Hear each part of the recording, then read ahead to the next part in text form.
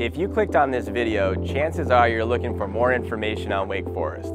And today, we're gonna be going over all the reasons someone would move to Wake Forest, why someone would wanna live in Wake Forest, and also the reasons why they may not want to live in Wake Forest. So without further ado, let's go.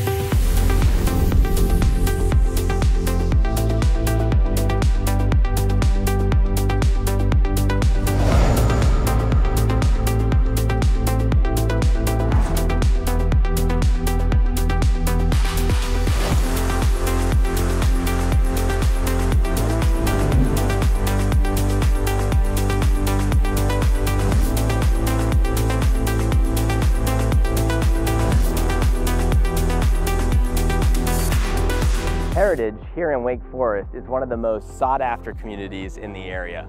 As you can see behind me, they have a beautiful golf course, a great clubhouse, swim, tennis, and a great restaurant. Heritage in Wake Forest is a master plan community that offers a blend of single family homes, townhomes, and upscale apartments. It's designed to cater to a variety of lifestyles, from young professionals to growing families and retirees. Some of the standout features of Heritage are the golf club, the swimming pools, the tennis courts, the walking trails, the playgrounds, and the parks.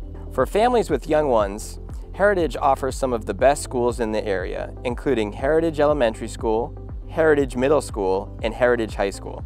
For our real estate clients, Heritage is one of the most popular neighborhoods in Wake Forest due to the quality of construction that was built here.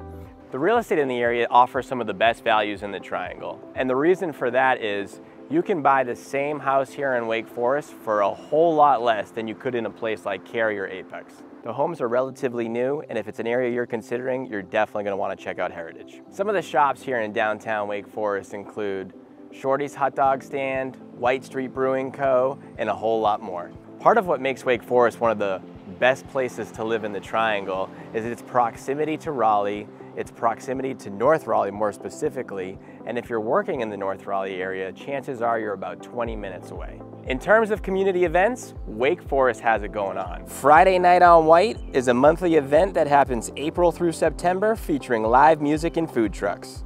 Wake Forest is easily one of my favorite places in the Triangle, and if you're thinking about moving to the Raleigh area, it's certainly a place that you're gonna wanna check out.